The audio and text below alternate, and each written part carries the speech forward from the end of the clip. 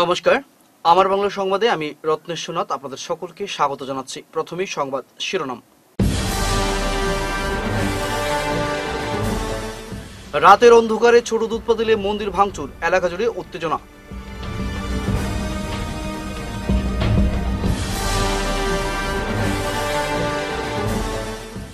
পিঙ্কি রায়ের বাড়িতে বিডিএফ প্রতিনিধি দল দশ লক্ষ টাকা সাহায্যের দাবি।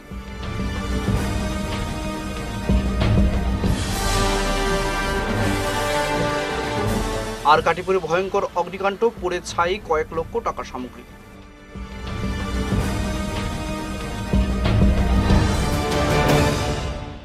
এবারে বিস্তারিত আমার বাংলা সংবাদ।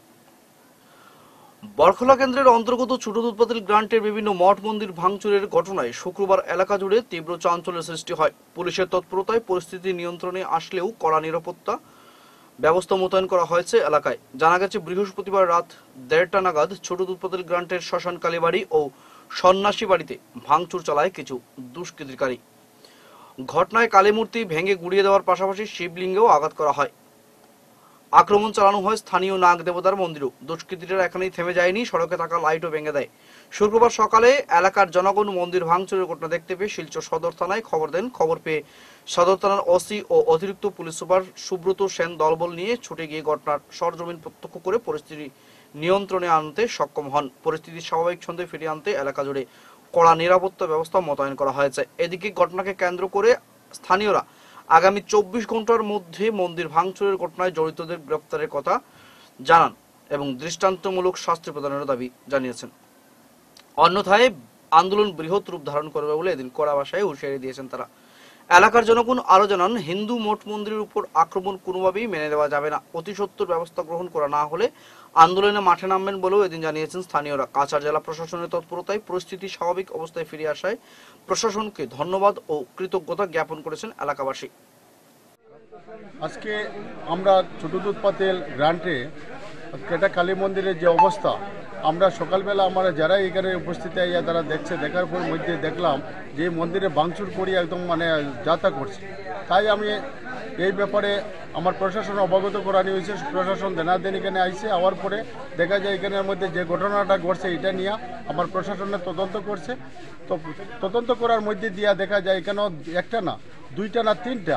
তিনটা মন্দিরের মধ্যে এরকম হানা করছে। হানা করিয়ে আমরা বাংসুর করি, আমরা সনাতন ধর্মটাকে লুপ্ত করার চিন্তাধারা করছে। কে বা কারা আমরা নাম না পাওয়ার কারণে আমরা প্রশাসনের কাছে দাবি রাখছি যাতে এটা বিহিত ব্যবস্থা এবং যথাযথভাবে এটারে কীভাবে আসামি চিন্তাধারা করা যায় বা ধরার কারণে তাদের কাছে আমরা এটা দাবি রাখছি, সেই দাবির মধ্যে যাতে আগামী দিনে আমার প্রশাসন মহোদয়ে, যারা এখানে আমার উর্ধ কীর্তন আছে, তারা সবাই মিলিয়ে চিন্তাধারা করিয়া যাতে আমরা অরিজিনাল ক্লুটা পাওয়া যায়। এই ব্যাপারে আমি আমার একটাই আবেদন রাখতে চাই যে যত শীঘ্র উইদিন টোয়েন্টি ফোর আওয়ার্স আমরা এই যে দুর্ঘটনা ঘটছে, এই ঘটনার জন্য আমরা উচিত বিচার পাইয়া যারা করছে তারা যেন পাকড়াও করা হয়। যদি এরকম কিছু আমরা না হয় প্রশাসনের পক্ষ থেকে, আমরা উইদিন টোয়েন্টি ফোর আওয়ার্সের পরে, আমরা কালকের পরে, এটা নিয়ে আমরা এই এলাকার থেকে বৃহত্তর আন্দোলন করতে বাধ্য থাকব। এটার লাগি আমরা তখন এটার, যদি কোনো দুর্ঘটনা ঘটে, এখানে কোনো ইয়ে থাকে, এটার লাগি আমরা এলাকাবাসী কিন্তু দায়ী থাকতাম না। এটা আমরা প্রশাসনের কাছে ক্লিয়ার কাট আমরা কুইয়া দিতে চাই। কেন এত বড় আঘাত আমরা উপরে হইছে, আজকে আমরা এই মন্দিরের উপরে হইছে মানে আজকে আমরা হিন্দু ধর্মের উপরে হইছে, এটার লাগে আমরা সমগ্র হিন্দু সমাজ আমরা লজ্জিত যে আমরা আজকে এরকম একটা দুর্ঘটনার সম্মুখীন হয়েছি এবং আজকে আমরা আপনার মাধ্যমে এটা আমরা প্রশাসনকে জানাইয়া দিতে চাই যে যত শীঘ্রই আমরা এই যে দুর্ঘটনা ঘটছে, এটার আমরা সুবিচার পিঙ্কি রায়ের বাড়িতে গিয়ে শোকাহত পরিবারবর্গের সাথে দেখা করলেন বিডিএফ এর প্রতিনিধি দল। পরিবারকে দশ লক্ষ টাকা ও মৃতার ভাইয়ের চাকুরির জন্য সরকারের কাছে আবেদন জানানো হয়েছে। এদিন পরিবারবর্গের সাথে আলাপ আলোচনার পর সাংবাদিকদের সামনে বক্তব্য রাখতে গিয়ে বিডিএফ এর মুখ্য আহ্বায়ক প্রদীপ দত্ত রায় বলেন, এটা অত্যন্ত নিন্দনীয় যে এই অবস্থায় পরিবারের সদস্যের একটি অভিযোগনামা লিখে দেওয়ার জন্য অর্থ চাওয়া হয়েছে। মুখ্যমন্ত্রীর নির্দেশ রয়েছে যে প্রতি থানার দ্বারকাদের এফআইআর লেখার ব্যবস্থা রাখতে হবে যাতে সবাই তাদের অভিযোগ যথাসময়ে প্রশাসনকে জানাতে পারেন। কিন্তু এক্ষেত্রে তাদের থানা থেকে জৈনকে ব্যক্তির কাছে পাঠানো হয়েছে যাকে অভিযোগনামা লেখানোর বিনিময়ে গরিব ওই পরিবারের সদস্যদের টাকা দিতে হয়েছে। এছাড়া মৃতদেহ শনাক্তকরণের ব্যাপারে পুলিশ তাদের সাহায্য করেনি, উল্টো একা পরিবারের সদস্যদের দুয়ারবন্ধ পাঠিয়েছে। এমনকি দুয়ারবন্ধ থানায়ও এ ব্যাপারে যথাযথ সহযোগিতা করা হয়নি। প্রদীপবাবু বলেন, এই যদি পুলিশ প্রশাসনের অবস্থা হয়, তবে আগামীতে আরও ঘটনা ঘটবে। তাই তিনি অবিলম্বে জেলার পুলিশ সুপারকে এ বিষয়ে যথাযথ তদন্ত ও উভয় থানার ভারপ্রাপ্ত অফিসারের বিরুদ্ধে আইন ব্যবস্থা নেবার আয়োজন জানিয়েছেন। পুলিশ যেহেতু অ্যাকশন নিতে ব্যর্থ হয়েছে, তাই জনসাধারণ রাস্তায় নামতে বাধ্য হয়েছে। তাই সেখানে আমি মনে করি যে পুলিশেরও উচিত আজকে তাদের মুক্তি দেওয়ার ব্যবস্থা করার জন্য কারণ তারা, আমি মনে করি তারা এই পিঙ্কির ঘটনা জানার পর তারা বয়স কম, মাথা ঠিক রাখতে পারেনি, হয়তো একটা ভুল করেছে, তাই আমি মাননীয় পুলিশ সুপারের কাছে অনুরোধ করব তাদের মুক্তির জন্য যেন একটা ব্যবস্থা প্রদীপবাবু এদিন আরও বলেন, মৃতার পরিবারবর্গকে তারা শুধু সান্ত্বনাই জানাতে পারেন, আর কিছু করার নেই। তবে যেহেতু পিঙ্কি এই পরিবারের অন্যতম উপার্জনক্রম সদস্য ছিলেন, তাই সরকার তথা স্থানীয় সদস্য এবং সাংসদ ও বিধায়ককে তারা পিঙ্কির পরিবারকে এককালীন দশ লক্ষ টাকা দেওয়ার অনুমোদন জানান। এছাড়াও পিঙ্কির মাধ্যমিক উত্তীর্ণ ভাইকেও তারা সরকারি চাকরি দেওয়ার জন্য দাবি জানান। কেউ যদি এফআইআর লেখাতে আসে, পুলিশ অফিসার সেটা লিখে দিতে বাধ্য। কিন্তু এখানে রাঙ্গিয়াকারী থানা কোনো দায়িত্ব পালন করেনি। এমনকি ডেড বডি পাওয়ার পর যখন পরিবার থেকে থানায় যাওয়া হয় তখনও পর্যন্ত থানা তাদেরকে নিয়ে দেওয়ার মন যায়নি। আমি এই জন্য আমি মাননীয় পুলিশ সুপারিনটেন্ডেন্টের কাছে অনুরোধ করব যে আপনি রাঙ্গিরখাড়ি থানার যে ওসি এবং যে দায়িত্বে ছিলেন, উনি এই কেসে কেন কর্তব্যে গাফিলতি করলেন, তার একটা তদন্ত করে তাকে উপযুক্ত শাস্তি দেওয়া হোক। এবং সেই সঙ্গে আজকে পিঙ্কি যেহেতু একটা রোজগার চাকরি করত। তার মা বেকার, বাড়িতে কোনো চাকরি প্রার্থী নেই। অথচ তার একটা ভাই রয়েছে, মেট্রিক পাস। আমি রাজ্য সরকারের কাছে অনুরোধ করব, আমাদের এখানে বিধায়ক সাংসদের কাছে অনুরোধ করব, তারা যেন এই পরিবারে একটা চাকরির ব্যবস্থা করেন এবং এককালীন সাহায্য হিসেবে অন্তত দশ লক্ষ টাকা তাদের পরিবারকে ক্ষতিপূরণ হিসাবে দেওয়া হোক, এই দাবি জানিয়ে আমি আজকে এই পরিবার বর্গের প্রতি আমি সমবেদনা জানাচ্ছি এবং ঈশ্বরের কাছে প্রার্থনা করছি যে পিঙ্কির আত্মা যেন শান্তি কামনা করে। কাছাড় জেলার আরকাটিপুরে শুক্রবার দুপুরে সংঘটিত হয় এক ভয়ঙ্কর অগ্নিকাণ্ড। ইমরান এন্টারপ্রাইজ নামের স্টেশনারি দোকানে সংঘটিত হয় এই অগ্নিকাণ্ড। দোকান বন্ধ করে জুম্মায় নামাজে গিয়েছিলেন মালিক। সেই সময় দোকানের ভিতরে শর্ট সার্কিটে আগুনের সূত্রপাত ঘটে। মুহূর্তের মধ্যে আগুন গ্রাস করে সমগ্র দোকানে, তারপর স্থানীয়রা দোকানের শাটার ভেঙে আগুন নিয়ন্ত্রণে আনার চেষ্টা করেন। সঙ্গে সঙ্গে দমকল বাহিনীকে খবর দেওয়া হয়। ঘটনাস্থলে দমকল বাহিনী পৌঁছে অনেক চেষ্টার পর আগুন নিয়ন্ত্রণে আনে। এই ভয়ঙ্কর অগ্নিকাণ্ডের ফলে কয়েক লক্ষ টাকার ক্ষয়ক্ষতি হয়েছে বলে জানা গেছে। আমি তো শুক্রবার সকালে দোকানও আইছি। দোকান বন্ধ করি আজানো আর পরে বাসাত গেছি। বাসার থেকে যাওয়ার পরে জুম্মার পরে ওখান থেকে লোকেলে তারা ফোন করিয়া এখন দোকানের ভিতরে মানে আগ লাগছে দুমা বারে। ও পরে শুনিয়া আইছি, আইয়া পরে সবে অন্য আসলো তারা। শাটার উটার খুলছে, আর ফায়ার ব্রিগেড ফোন করছে পরে ফায়ার ব্রিগেড আইছে। ওই তো আইয়া ভাই ফ্রিজ থেকে দুইটা ফ্রিজ একটা পেপসির ফ্রিজ আসলো আর একটা আইসক্রিমের ডিপ ফ্রিজ আসলো। ও দুটা ফ্রিজও বেশি আগুন লাগছে। টোটাল তো দশ লাখ টাকা হইব আর ফায়ার ব্রিগেডে আইয়া আগুন ফায়ার তারা নিবাইছে আইয়া। পরে থানা লোকাল থানা রংপুর জানানি হয়েছে তারা আইয়া দেখছে এটা রংপুর পার্ট ওয়ান আর পয়সা বিচার খাটিপুর ইমরান এন্টারপ্রাইজ পড়ুয়াদের একাগ্রতা, অভিভাবকদের সহযোগিতায় এবং দক্ষ শিক্ষকদের প্রশিক্ষণের সমন্বয়ে যে কোনো সাফল্য অর্জন করা সম্ভব। আর এক্ষেত্রে উল্লেখযোগ্য অবদান রেখে চলেছে শিলচরের doctor Kalam institute of science and education. প্রতিষ্ঠানের বার্ষিক পুরস্কার বিতরণ অনুষ্ঠানে প্রত্যেক বক্তাই বিষয়টি নিয়ে আলোকপাত করেন। বৃহস্পতিবার গান্ধী ভবনে আয়োজিত অনুষ্ঠানে গুরুচরণ কলেজের অধ্যক্ষ ডক্টর বিভাস দে, ভারতরত্ন ডক্টর আব্দুল কালামের জীবনী তুলে ধরে তার আদর্শ অনুসরণের জন্য পড়ুয়াদের আহ্বান জানান। কালাম, জীবনে নতুন কিছু করার চিন্তাধারা না থাকলে জীবনে উন্নতি করা সম্ভব নয়। এনআইটি শিলচরের গণিতের সিনিয়র প্রফেসর পীযুষ কান্তি দে বলেন দু হাজার সতেরো সালে স্থাপিত হওয়ার সময় doctor Kalam institute of science and এডুকেশনের ছাত্র সংখ্যা ছিল মাত্র ষোলো জন। বর্তমানে এই ইনস্টিটিউটে দুশোর অধিক ছাত্রছাত্রী পড়াশোনা করছে। এই ইনস্টিটিউটে খুব ভালো অঙ্ক পড়ানো হয়, যার সুফল পেয়ে দেশের অনেক বিভিন্ন উচ্চশিক্ষা প্রতিষ্ঠানে পড়াশোনা চলছে। তিনি আরও বলেন, একজন ভালো ইঞ্জিনিয়ার হতে গেলে অঙ্কের উপর ভালো দখল রাখতে হবে। মা হচ্ছেন প্রথম এবং প্রধান শিক্ষক, তাই সবসময় মাকে শ্রদ্ধা করতে ছাত্রদেরকে পরামর্শ দেন তিনি। অনুষ্ঠানে এই ইনস্টিটিউট গড়ে তোলার কাহিনী তুলে ধরেন সুপ্রতীক রায়। দ্বিতীয় পর্বে ছিল কৃতি তিন পড়ুয়া ও ফ্যাকাল্টি সদস্যদের নিয়ে একটি টোক শো। এতে নিজেদের পড়াশোনার অভিজ্ঞতা সম্পর্কে আলোকপাত করে এবারে ইন্ডিয়ান স্ট্যাটিস্টিক্যাল ইনস্টিটিউটের সর্বভারতীয় অ্যান্ট্রাসে উনপঞ্চাশতম স্থান দখলকারী শুভদীপ রায়, বাইশের জেইই স্কলার তথা আইআইটি বোম্বের পড়ুয়া আর্চিমান ভট্টাচার্য এবং একুশের জেইই স্কলার তথা আইআইটি খড়গপুরের পড়ুয়া শাশ্বত বণিক। এরা সবাই কালাম ইনস্টিটিউটের রেগুলার পড়ুয়া ছিল। ইনস্টিটিউটের ফ্যাকাল্টি সব্যসাচী দাস, সুপ্রতীক রায় নিজেদের অভিজ্ঞতা তুলে ধরে পড়ুয়াদের আরও মনোযোগ হওয়ার পরামর্শ দেন। অনুষ্ঠানে উপস্থিত বিভিন্ন শ্রেণির ছাত্রদের প্রশ্নের জবাব দেয় এই কৃতীরা। অনুষ্ঠানে সায়েন্স অলিম্পিয়াড ফাউন্ডেশনের এবছরের বিজ্ঞান ও গণিত পরীক্ষার বিভিন্ন স্থানাধিকারীদের পদক ও শংসাপত্র তুলে দেন অতিথিরা। উল্লেখ্য, কালাম ইনস্টিটিউট এবারই প্রথম অলিম্পিয়াড ফাউন্ডেশনের স্বীকৃতি পেয়ে বিজ্ঞান ও গণিত পরীক্ষা গ্রহণ করে আর এবছরই উল্লেখযোগ্য সাফল্য লাভ হয়। How Gurucharan College achieved in this highest position of education scenario. Because probably in the next month, we will have another university in the Borak Valley, second of its kind. That is Gurucharan University, Silchar. This is actually Gurucharan College elevated to Gurucharan University. It's a state university. Our government, state government headed by Dr. Himanta Vishwa Sharma on last cabinet meeting held in Silchar on 29th November last year declared that this college, that is Gurucharan College, will be upgraded to state university.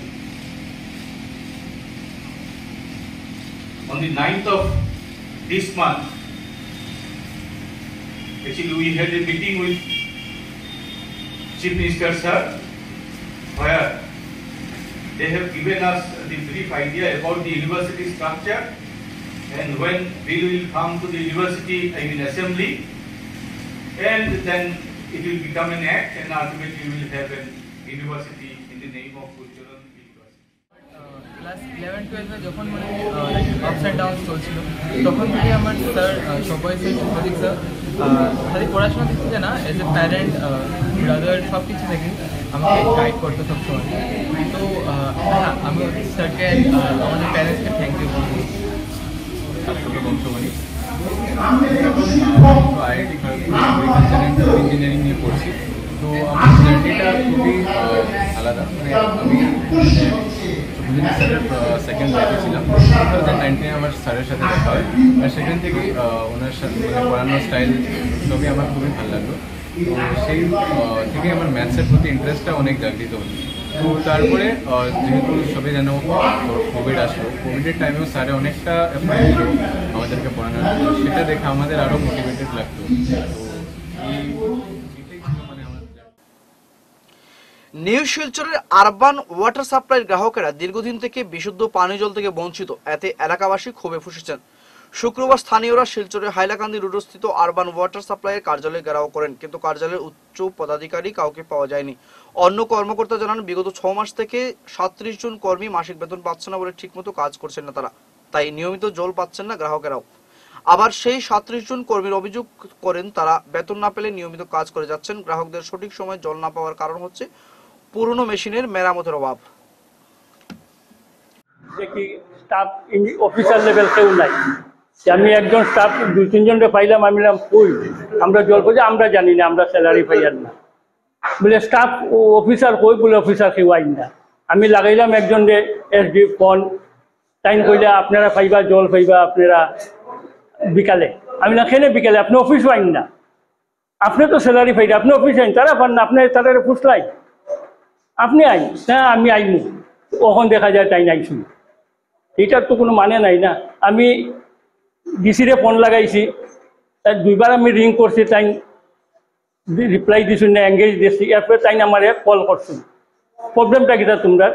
আমি বললাম, আমরা problem আমি urban থেকে আরবানও আইছি, আমরা national link road Sonai road সব মিললে আমরা আইছি, যে আমরা আজকে তিন দিন, চার দিন হয়ে গেছে, আমরা জল পাইয়ার না। বলে, আপনারা জল পাইয়ার না, বলেন না। ঠিক আছে, রাখুন, আমি দেখি এই, অতটুকু টান লগে একই দিনে একাধিক সরকারি প্রকল্পের উদ্বোধন ও শিলান্যাস করলেন বিধায়ক দীপায়ন চক্রবর্তী। এদিন সকালে শিলচর সিভিল হাসপাতাল নির্মিত ওয়াটার ট্যাঙ্কের উদ্বোধন ও পক্ষীপথের শিলান্যাস করেন বিধায়ক। ওয়াটার রিজার্ভার ট্যাঙ্ক স্বল্প দিনের মধ্যেই কাজ সম্পন্ন করে কাজের ঠিকাদার সঞ্জয় রায়। বিধায়ক বক্তৃতা তার ভূয়সী প্রশংসা করেন। উনিশ লক্ষ চুরাশি হাজার ছশো ত্রিশ টাকা ব্যয়ে এই রিজার্ভার ট্যাঙ্কটি তৈরি করা হয়। তাছাড়া মুখ্যমন্ত্রী পাকাপথ যোজনাধীন একানব্বই লক্ষ বিরাশি হাজার আটশো উনষাট টাকা ব্যয়ে সিভিল হাসপাতালে একাধিক রাস্তা তৈরির কাজে শিলান্যাস করেন। দিনের যে টাকা, সেই টাকা দিয়ে আমরা এটাকে তৈরি করব। তার জন্য আমি ডাইরেকশন দিয়েছিলাম একটা এস্টিমেট রেডি করার জন্য। আমি ধন্যবাদ জ্ঞাপন করছি পিডব্লিউডি তৎকালীন মিস্টার পালকে এক্সিকিউটিভ ইঞ্জিনিয়ার উনি বানিয়ে দিয়েছিলেন। আর তার জন্য আজকে এই রিজার্ভার তৈরি হয়েছে। আপনারা শুনলে আশ্চর্য হবেন আরও যে রিজার্ভারের উপর আমরা দাঁড়িয়ে আছি এই রিজার্ভারের এখানে আরেকটা রিজার্ভার বানানো বানানো হয়েছিল কংগ্রেস সরকারের পিরিয়ডে। কিন্তু দুর্ভাগ্যবশত যেদিন রিজার্ভার ইনোগ্রেশন হয়েছিল সেই দিন থেকে আর একদিনের জন্য জল সরবরাহ সেটা সেটা হয়নি। সেটা অত্যন্ত দুর্ভাগ্যের। এই ছিল কংগ্রেসের গভর্নমেন্ট। তো আমরা ভারতীয় জনতা পার্টির গভর্নমেন্ট আসার পর আমরা বিভিন্নভাবে ডেভেলপমেন্টাল ওয়ার্ক করছি। আমরা আজকের দিনে আপনারা দেখছেন যে সিভিল হসপিটালের ভেতরের যে রাস্তা রয়েছে, এই ছটি রাস্তার আজকে ফাউন্ডেশন স্টোন আমরা দিয়েছি। মুখ্যমন্ত্রী ডক্টর হিমন্ত বিশ্ব শর্মার নেতৃত্বাধীন সরকার, আপনারা জানেন যে প্রত্যেকটা কনস্টিটিউন্সির জন্য মুখ্যমন্ত্রীর পকিপথ নির্মাণ যোজনার মাধ্যমে, উন্নত পক্ষীপথ নির্মাণ যোজনার মাধ্যমে বিভিন্ন রাস্তা হয়। আমি বিধায়ক হয়ে সেকেন্ড ইয়ারে আমি এটাকে প্রপোজাল দিয়েছিলাম। আন্তরিকভাবে আজকে আমি কৃতজ্ঞতা প্রকাশ করছি মাননীয় মুখ্যমন্ত্রী ডক্টর হিমন্ত বিশ্ব শর্মা মহাশয়কে যে আজকে আমাদের এই রিজার্ভার সহ আমাদের ইন্টারনাল রোড ছটা রোড আজকের দিনে হবে এই ইয়েতে। আপনার সিভিল হসপিটালের ভেতরে, সেখানে অ্যারাউন্ড সেভেন হান্ড্রেড মিটার রাস্তার কাজ হবে আর থ্রি হান্ড্রেড মিটারের মতো ড্রেনের ব্যবস্থা আছে। এখানে একানব্বই লক্ষ টাকা খরচা করে সেটা হবে। একুশে জুলাই বাসা শহীদ স্মরণে সংসদের আলোচনা সভা আয়োজিত হলো শিলচর প্রেস ক্লাবে। এদিনের কার্যক্রমের দ্বিতীয় পর্বে পাঁচজনকে প্রদান করা হলো সাহিত্য পুরস্কার। ভাষা শহীদ জগন্ময় দেব ও দিব্যেন্দু দাসের আত্মবলিদানের সাঁত্রিশতম বার্ষিকী উপলক্ষে বরাক নাগরিক সংসদের উদ্যোগে শিলচর প্লেস ক্লাবে এই অনুষ্ঠানের আয়োজন হয়। এতে স্মৃতিচারণ, আলোচনা এবং সভা, গরিমা সাহিত্য পুরস্কার প্রদান করা হয়। আলোচনার বিষয় ছিল বরাক উপত্যকা অস্তিত্বের অভিমুখ। যে পাঁচজনকে সাহিত্য পুরস্কার প্রদান করা হয় তারা হলেন প্রবীণ সাংবাদিক পরেশ দত্ত, বিজয় কুমার ভট্টাচার্য হিমাশিস ভট্টাচার্য, দিলীপ কুমার আদিমা মজুমদার। আজকের যে আলোচনা, সেই আলোচনায় গুরুত্বপূর্ণ বিষয় হলো যে বাসা শহীদদের এই আত্মত্যাগের পরও এতগুলো বছরে বরাক উপত্যকার অস্তিত্ব রক্ষার জন্য নিরন্তর আমাদের লড়াই করে যেতে হচ্ছে। কীভাবে বরাক উপত্যকার উপর বারবার আগ্রাসনের খাড়া নেমে আসছে, এটা অত্যন্ত উদ্বেগের বিষয় এবং সাম্প্রতিককালে কেন্দ্র পুনর্বিন্যাস নিয়ে বরাক উপত্যকাকে যেভাবে গিনিপিগের মতো ব্যবহার করা হচ্ছে, এর বিরুদ্ধে আগামী দিনে সমস্ত ভাষা ধর্ম নির্বিশেষে বরাক উপত্যকাবাসী হিসেবে আমরা প্রতিবাদ, প্রতিরোধ গড়ে তুলব এবং আমরা একথা বলতে চাই যে এ অঞ্চলের মানুষ কখনো অস্ত্র হাতে তুলে নেয়নি। আমরা আমাদের ত্যাগের বিনিময়ে, প্রয়োজন হলে আবার আমরা রক্তের বিনিময়ে আমরা এ অঞ্চলের অধিকার রক্ষার জন্য আমরা যে কোনো ত্যাগ স্বীকার করতে প্রস্তুত আজকে ইন্ডিয়া ক্লাব সংলগ্ন নবনির্মিত এক কালবাটের ফলক উন্মোচন করলেন বিধায়ক দীপায়ন চক্রবর্তী। এদিন বিকেল আনুষ্ঠানিকভাবে ওই কালবাটের ফলক উন্মোচন করে বিধায়ক শহরের জমাজলের সমস্যা নিরসনে নিরন্তর প্রয়াসকতা তুলে ধরেন এবং বর্ষা মধ্যেও দ্রুত গতিতে এই কালবাটের কাজ সম্পন্ন হওয়ায় বরাদপ্রাপ্ত ঠিকাদারের প্রশংসা করেন বিধায়ক। ওনাকে অনুরোধ করে উনি আমাদেরকে সম্পূর্ণ সহযোগিতা করেছেন নাগরিকদের ওয়েবসাইট গার্ডওয়াল এই বিয়াল্লিশ কোটি টাকা খরচা করে রাখা হচ্ছে আর এইটাও সিআইটিএফ ফান্ড থেকে হচ্ছে। এখানে বিশ মিটার আপনারা দেখতে পাচ্ছেন আমাদের ক্রস কালভার্ট হয়েছে যেটা তিন ফুট ভেতর তিন মিটার ভেতর ভেতর ক্লিয়ার থাকবে আর হাইটও তিন মিটার থাকবে। আপনারা লক্ষ্য করেছেন যে বৃহত্তর মালগ্রাম অঞ্চল এই অঞ্চল হয়ে তারা যে এই যে ইন্ডিয়া ক্লাব অঞ্চল হয়ে এই অঞ্চলের সম্পূর্ণ জল এগিয়ে গিয়ে গিয়ে আমাদের এটাকে টাউন খাল বলা হয় সেটা চাঁদমারি হয়ে টিভি সেন্টারের পেছন হয়ে গিয়ে আশ্রম রুটে গিয়ে রাঙ্গির খালে পড়ে। তো এটার মোটামুটিভাবে ল্যাংথ আট কিলোমিটার। তো এই যে জল, এই জল দীর্ঘদিন আমরা লক্ষ্য করেছি যে এখানে একটা হিউম পাইপ ছিল। এই হিউম পাইপ এক মিটার ডায়ার হিউম পাইপ শুধু ছিল। আর এই এক মিটার ডায়ার হিউম পাইপ সিক্সটি পার্সেন্ট তা সিলটেশন ছিল মানে ফোর্টি পার্সেন্ট দিয়ে জল বেরিয়েছে এতদিন। যার জন্য কি হয়েছে, মালগ্রাম অঞ্চলের যে বৃষ্টিপাতের জন্য যে জমা জল বা আমাদের গান্ধীমেলার মাঠের যে জলগুলো জলগুলো স্ট্যাগনেন্ট থাকতো, জলগুলো যেত না। কিন্তু আজকের দিনে আমরা লক্ষ্য করেছি যে এটা হওয়ার সাথে সাথে আমাদের এত অঞ্চলের জল, প্রবল বৃষ্টিপাতের পরও আমরা তাড়াতাড়ি আমরাকে জল নিষ্কাশন হয়ে যাচ্ছে। তো এটা আমি মনে করি একটা বৃহৎ কাজ হয়েছে। আমি কন্ট্রাক্টর এখানে রয়েছেন সঞ্জয় রায়, আমাদের বিভাগীয় দুজন ইঞ্জিনিয়ার রয়েছেন। তাদের তত্ত্বাবধানে এটা হয়েছে। গোস্বামীদা রাজ্যিক স্তরের নৃত্য প্রতিযোগিতায় রাষ্ট্রীয় অসম সম্মান উপাধিপ্রাপ্তি করিমগঞ্জের আয়ুষ্মিতা দেবকে উষ্ণ সংবর্ধনা দিয়ে স্বাগত জানানো হলো শিলচরে। রাষ্ট্রীয় মহিলা সুরক্ষিত সংগঠন ও নিনাদ আয়োজিত পৃথক দুটি প্রতিযোগিতা আসরে অংশ নিয়ে সেরা স্থান দখল করতে সক্ষম হয় উদীয়মান নৃত্যশিল্পী আয়ুষ্মিতা দেব। নিনাদের আসরে রাষ্ট্রীয় অসম সম্মান উপাধি আয়ুষ্মিতার হাতে তুলে দেন খ্যাতনামা নৃত্যশিল্পী তথা নৃত্যশ্রী বেস্ট ডান্সার উপাধি প্রাপ্ত ডোনা গাঙ্গুলি। উল্লেখ্য, নৃত্যগুরু পায়েল চক্রবর্তী কুড়ের ছাত্র আয়ুষ্মিতা। আমার নাম আয়ুষ্মিতা দেব। আমি পূর্ণিতলের ছাত্রী, করিম করিমগঞ্জের আর আমি এটা গুয়াহাটি আয়োজিত হয়েছিল। যেটার নিনাদ অর্গানাইজ করেছিল। ডোনা গাঙ্গুলি নাইট। আর ডোনা গাঙ্গুলি ম্যামে আমাকে নৃত্যশ্রী বেস্ট ডান্সার অ্যাওয়ার্ড দিয়েছিল। আর আমি আমার ম্যামকে নৃত্যগুরু ম্যাম পায়েল চক্রবর্তী পুরী ম্যামকে আমি অসংখ্য ধন্যবাদ জানাতে চাই। যে আমি অত বড় হয়েছি, অত বড় জায়গাতে গেছি, আমি চক্রবর্তী পুরী ম্যামের একই রাস্তার কাজের জন্য এক, দুই নয়, পরপর তিনবার অর্থ বরাদ্দ হয়েছে বাগাডোহর বরজোড়াই গ্রাম পঞ্চায়েত এলাকায়। এলাকাবাসীরা সংবাদ মাধ্যমের মধ্য দিয়ে জিপি সভাপতি ও জিপি সচিবের কাজ না করে অর্থ আত্মসাৎ করার বিষয়টি রাজ্যের মুখ্যমন্ত্রী ডক্টর হেমন্ত বিশ্ব শর্মা ও পঞ্চায়েত মন্ত্রী রঞ্জিত দাসের দৃষ্টি আকর্ষণ করতে সচেষ্ট। তারা এ ব্যাপারে তদন্ত করার মাধ্যমে প্রকৃত দোষীকে সাব্যস্ত করে তাদের কঠোর শাস্তি দাবি করেন। একবার চার লক্ষ টাকার আঠারো, উনিশ অর্থ বৎসরের চার লক্ষ টাকা আর উনিশ বিশের আবার চার লক্ষ তিরানব্বই হাজার দুইশো উনপঞ্চাশ টাকার কাজ করেছেন। হ্যাঁ তো সেই রাস্তার কাজ করা রাস্তার মধ্যে ওনারা কোথা থেকে কাজ করলেন? সেই কাজ কাজ না করে ওরা টাকাগুলো আত্মসাৎ করেছেন। তো তার জন্য আমরা আজকে জমাত হয়েছি যে সেই জনগণের অর্থ, সরকারের অর্থগুলা ওরা যে আত্মসাত করেছে, তার জন্য আমরা এই, আমরা ঊর্ধ্বতন কর্তৃপক্ষের সঙ্গে যোগাযোগ করেছিলাম। তারপর এখন আমরা এই মিডিয়ার মাধ্যমে আমরা এই আমাদের আসামের মুখ্যমন্ত্রী ও এই পঞ্চায়েত ডিপার্টমেন্টের যে আমাদের মন্ত্রী রঞ্জিত কুমার দাস মহোদয়ের আমরা দৃষ্টি আকর্ষণ করে বলতে চাই যে, ওরা এই যে এইটার তদন্ত করে যাতে বৃহৎ ব্যবস্থা নিয়ে যাতে এই যে যারা টাকা আত্মসাৎ করেছে সেই টাকাগুলার পুনরায় কাজ হয় আর টাকাগুলো যাতে রিটার্ন দেওয়া হয়। একটা হলো চার লাখ চার লাখ টাকা আর একটা হলো চার লাখ তিরানব্বই হাজার দুইশো উনপঞ্চাশ টাকা। তো চার চার আট লাখ তিরানব্বই হাজার দুইশো উনপঞ্চাশ টাকা ওরা উড্ড উড্ড করেছে। কাজ না করে। কিন্তু এটা যেহেতু এপির কাজ এখানে।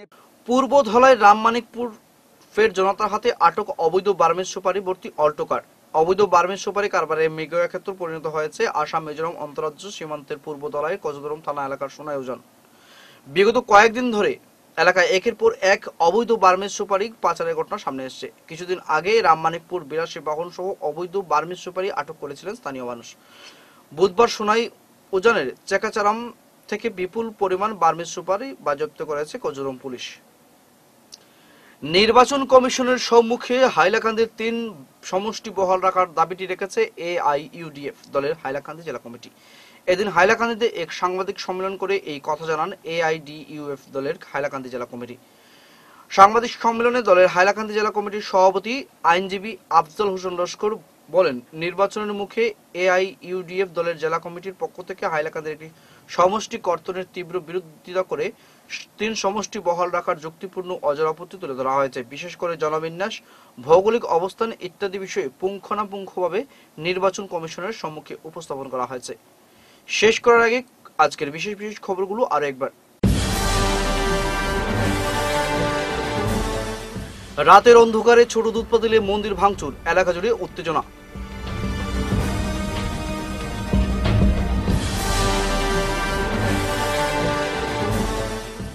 পিঙ্কি রায়ের বাড়িতে বিডিএফ প্রতিনিধি দল দশ লক্ষ টাকা সাহায্যের দাবি।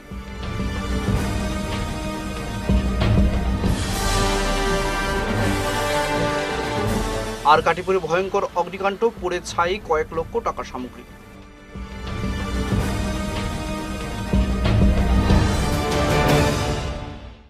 এখনকার মতো আমার বাংলা সংবাদ এ পর্যন্তই। নমস্কার।